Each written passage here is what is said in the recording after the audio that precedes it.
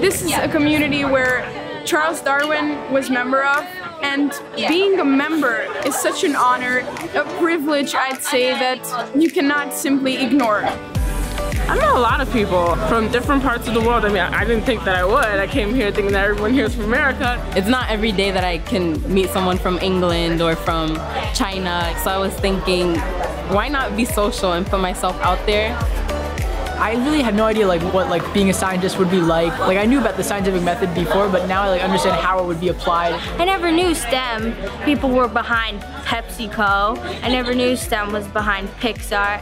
I passed by a few of you and you were having such intense discussions about your project and you were right there. Brilliant. Amazing.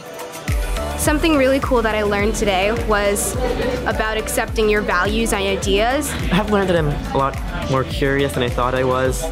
From what the panelists said, I know that it's okay if you make mistakes. It's something that you never got a chance to learn in high school.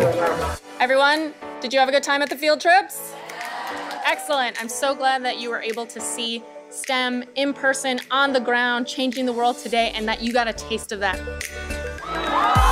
I love science. I want to make a difference in the world. Doesn't matter what degree you get. What matters is that skill that you're learning and how you're going to apply it to the question I like to ask, which is, what problem do you want to solve? Everything that they said is going to help us, and I know it's going to help each and every kid that was here today. We all know that you will be the STEM leaders of the future, and we are here to support you. Use the New York Academy of Sciences as a resource to help you progress in the skills that you need. And uh, who knows, maybe we can all work together in the fall and make some cool collaborations.